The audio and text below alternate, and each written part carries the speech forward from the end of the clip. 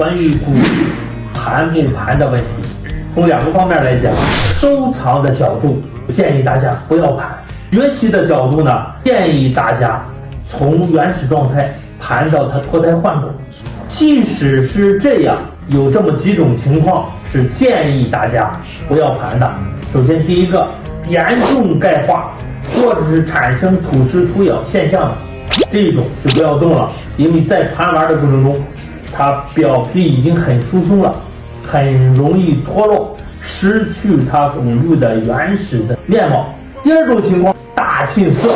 或者是沁色比较丰富的玉器。也不要盘，因为这种你在盘玩的过程中，它的沁色会随着你的体温、随着你见水、随着空气氧化，沁色变化，失去最原始的一个状态。还有一种情况就是有大灰皮的玉器，建议大家也不要盘。因为灰皮在盘玩的过程中，它会反复的吐灰，并且其他的一些入土特征也会发生变化，失去原始状态。还有一种情况就是玻璃光的玉器，玻璃光的玉器在盘玩的过程中会变得很油润，失去玻璃光状态。站在收藏的角度，这几种情况下，这件东西又比较光鲜亮美的，